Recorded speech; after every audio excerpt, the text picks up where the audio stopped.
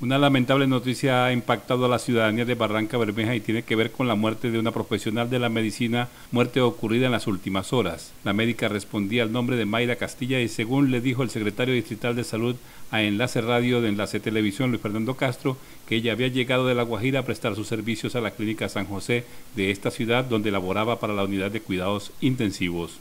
La causa de su muerte corresponde confirmarla a los forenses del Instituto de Medicina Legal, han dicho las autoridades locales. Dolor y mucha tristeza entre los barranqueños ha causado la muerte de la doctora Castilla.